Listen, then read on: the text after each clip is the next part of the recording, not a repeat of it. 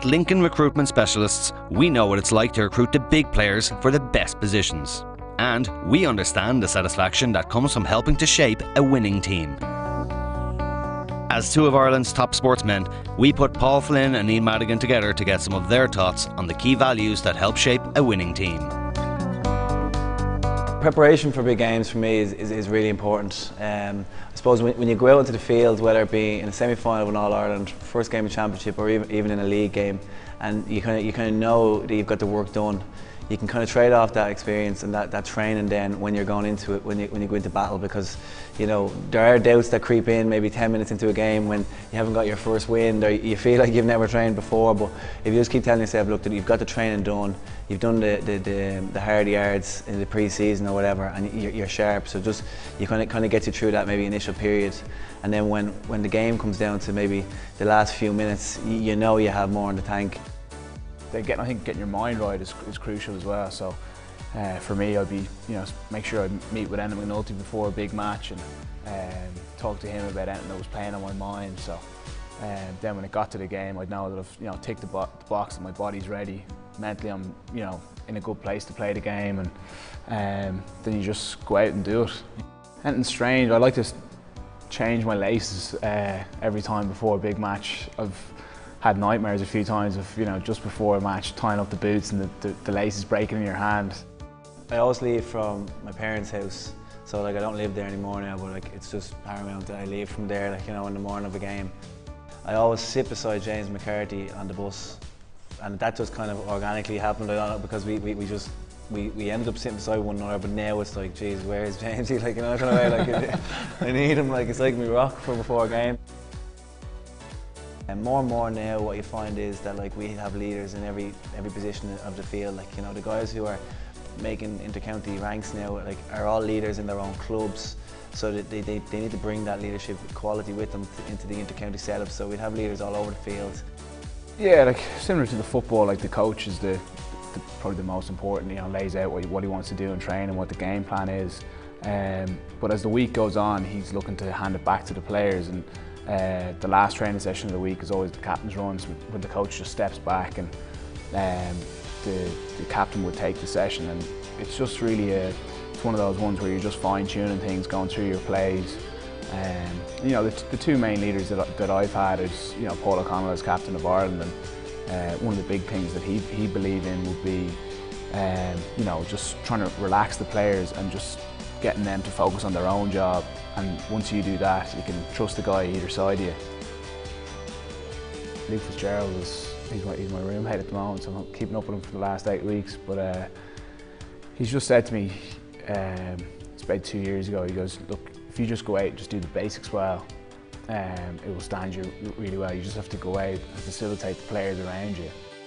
One of my key the key areas I needed to work on like a couple of years back was my shooting and remember like probably 2011 now, 2010, uh, Bernard Brogan came out with me and he was he was he was giving me um, advice on, on, kicking and stuff like that, you know. And I suppose he didn't have to do it, and I suppose you know you might call it leadership or call it whatever, but um, you know he, he, was just the two of us, and he, he was helping me with, with my kicking, and, and, you know it improved tenfold.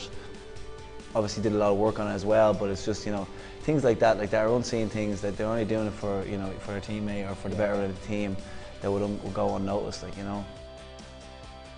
Uh, for me, growing up, um, you know, I would have had a few different mentors, but uh, knowing better than my older brother David, uh, he was three years older than me, and you know, like any younger brother or older brother, you always look up to him, and you're always looking to compete with him. And uh, it was a, you know, it was a good gap that he was always better than me, so I was always striving to, to, to keep up with him.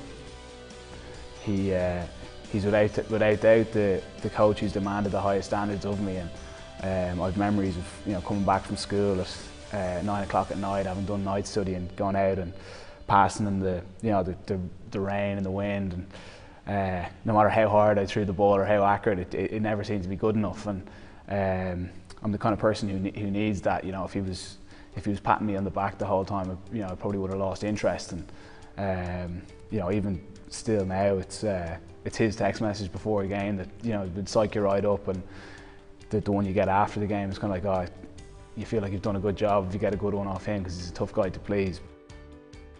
when I was probably my transition period from minor or even under 16s in the club to, to the senior ranks. The senior uh, coach at the time was a guy called Tom McKittrick, and he brought myself and another guy um, when we were first year minor onto the senior panel. And it kind of was a big transition, and the senior team at the time were going well in Fingallians, and you know I getting exposure to playing with senior senior lads. I was only young, and uh, I think it, I think it kind of toughened me up a bit, like you know, and it kind of it blooded me into that that like you know much more physical game. You know, you, you, you know you don't have as much time on the ball and stuff like that. So that was a big transition period. Piece of advice I ever received, I actually got it too late because it was too late for me. But I always tell, I always pass it on, like you know. So uh, it was a guy. We had a guy over who was a coach from. Uh, he coached. He was an Australian coach, but he coached like in Aussie rules and rugby, you know, multi sports over there. But he was saying. Um, and I, and I, say it to everybody now if I go to a camp or I'm speaking to young, younger, younger guys. Um, he says, when you're younger, play as many sports as you can, up to around the age of 15, 16, and just, just explore them all. And then when you go and specialise in whatever sport you go and specialise in, you bring little bits of nuggets of information and skills and you know things from each of the sports to your specialised sport.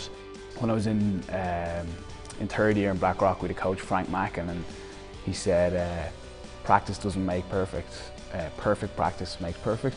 And he just changed the way I trained and uh, gave it a different focus. So he wouldn't let you go out and, and um, just pra practice passing, just firing at each other. He won a set process and that you'd be working to a certain technique and he brought that in then to, to my place kicking and, and my kicking out of hand and um, it just kind of re really gave me a focus and that had a knock-on effect to how I, what I was doing in the gym. I played, played rugby for the love of the game, you know, when I went to, when I was growing up uh, in primary schools, you know, was tennis, golf, Gaelic football, rugby on the Sundays in, uh, in Old Belvedere. And um, then when I went to Blackrock, it goes from being, you know, playing rugby once a week to playing it, you know, training, you know, four days a week and then playing a game on a Wednesday, playing a game on a Saturday. And it's everything that everyone talks about in there. And, um, you know, it's, it's a kind of environment that you, you just want to be part of the rugby team when, when it's the main focus of the school. So I just engrossed myself in it and on top of those sessions I did, you know, kicked in the morning before school and um, just loved it, done rugby camps in, in, in the summer and um, you know, that kind of gave me the, the realisation that, you know, I could, uh, could make a living in this and um, it was only really when I was probably about 17 or 18 that um, I kind of chased that dream really hard. For me, it's all about passion. Like, you know, that's the reason I, I, I kind of play play um, play football. Like the, to go out there, like, play in front of whatever 80,000 people, even if there's 10,000 people there, uh, with the Dublin jersey on your back. You know, it, it just it, it, there's such history in it, like you know, and it's it's it's, it's built on passion and pride uh, for your for, for Dublin, uh, for your club, but also for your family as well. Like you know, so you're representing. Like for, for me, that's what that's what I'm representing, and uh, you know, I see the joy it brings people around you and stuff like that every game and, and all the fans and things. So, you know, it's a privilege to, to get the chance to, to wear the jersey. So, um, you know, it, it's easy for me to have passion, passion every time I go out to play.